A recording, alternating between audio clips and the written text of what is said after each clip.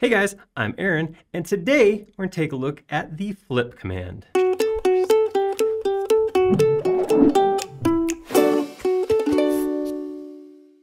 So as of the time of the filming of this video, 2023 is just coming out and flip is actually a brand new command.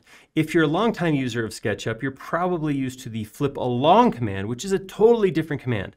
What flip along would do is take selected geometry and flip it based on the axes, either the world axes or if you're in a component, the component axes. If you're like me, you always struggled a little bit trying to remember if which way is red going to flip it versus green. Blue I usually knew up and down, but uh, front back, I could never actually get that fully solid and ended up guessing a lot. The new flip command is way easier to use. It's very obvious which way the geometry is going to flip, and you can use it to duplicate geometry so you can actually mirror and keep the original, which is an awesome, awesome functionality. And we're taking a look at that right now. Okay, so here we are. Um, we have a couple things on the screen right now. So here I have our scale figure for 2023 Heather, and I have some loose geometry over here that's gonna end up being the quarter of a nice big conference table. So let's look at how flip works. Flip is very simple. It's a single button command. So there's here's the icon right here. It's under tools. So you just click flip there. Um, but whatever's gonna, whatever I do, I wanna select the geometry I have first, or like other SketchUp commands, I can choose the command first and then whatever I click on after will start flipping. So just to show you, I'm, gonna, I'm just gonna grab this geometry real quick, just do a group select and hit flip, and I'll show you how this works. Then we'll talk a little bit more about uh, using the command first and then selecting your target second. So as soon as you hit flip, you get these planes, red, green, blue, and you can see in this case, the red, green, and blue are actually aligning to the axes. That's happening because this is loose geometry. Loose geometry is going to show you your flip planes relative to the world axes.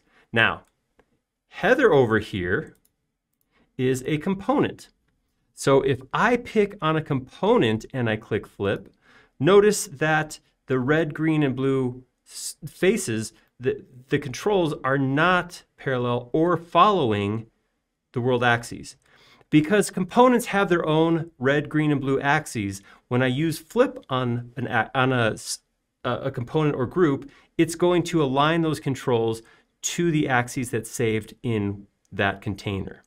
So very important thing to note. Uh, it, it, also lets you control too. So if I have some geometry that's off axes and I want to force my, my controls to show up in a certain orientation, I can do that by grouping or componenting the loose geometry. Getting back to it though, let's go back to this geometry over here. Use flip again. So actually using it is super simple. So if I just come in here and I click on the green axis, what it's going to do is this green axis is at the middle of the selected mass. So when I click this, it just flips it the other way. See how that happened? If I click the blue, it's going to flip it vertically. Red, it's going to flip it this way. Super, super simple easy to use. It's a click. But of course, we can always do more than, than just that. SketchUp's great at keeping that base functionality just a click and then gives you tools to push that a little bit further. Okay, so the big one, if I look at my modifier keys down here, I have a modifier key for flip or copy. So I can actually toggle it just like other, other editing tools in SketchUp, uh, tapping that modifier key will keep the original copy. So this sounds great, but let's do that real quick. So I'm on Windows, so I'm gonna hold down Control and click the green, and look what happens. Well, that was cool, but it stuck both copies on top of each other because it's centering around the middle, so I have all this overlapping geometry. Well, that's not ideal right? So I'm gonna hit Control Z to undo that and go reselect that geometry. Fortunately, and I really like this, one of the things you can do is you can click and drag a plane. So if I want to not just flip it this way, but I want to copy it so that on the end here, there's another copy going this way, what I can do is I can grab that green plane and I can pull it and let it snap to the end like that. See that? Look at, see how that did that? That was awesome. Now that, that green plane's there, I can flip it back and forth. Or if I want, which is the intention of where I'm going right here, hold down control key on my keyboard and tap that to get a duplicate copy.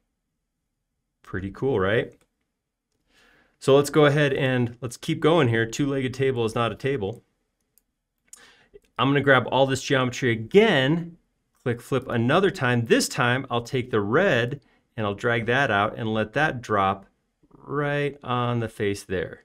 Now, as soon as you let go, it does the cop, it, it does the flip. So as soon as I release that, it flips it. Um, not a big deal because I can always flip again by coming back over here, but I could have tapped release first. That gives me the plus. That way when I drag and drop the red axis, it automatically flips that that way. Pretty cool, pretty easy. And man, you know exactly where everything's going to go because these planes come in and tell you so. So one more thing that I was talking about before, if I do click on flip first, now whatever I click on next is going to come up and be flippable. Is that right? Uh, so if I click on a single surface like this, it's going to come up just for that surface. Not, not terribly useful there. If I go into flip, let's go deselect that. Flip, I can't drag, just like the other tools. If I want to pre-select multiple items, I have to select that beforehand. If I turn on flip first, then I can come in and click on any one item, and then from there, I can flip with just a click.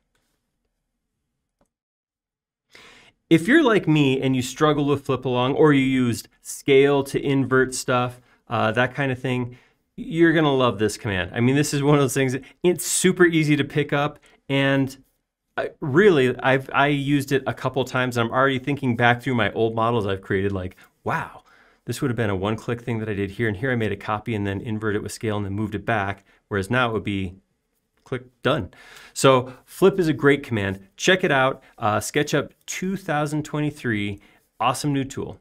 If you like that video, please click like down below. And If you haven't already, please do subscribe. We create several videos each and every week around here and be notified of all of them if we subscribe. Most importantly though, please leave us a comment down below. What do you think of Flip? Have you used it before? Are you going to be happy to have this new option rather than flip along or scale? We like making these videos a lot. We like even more when they're showing something you want to see. Thank you.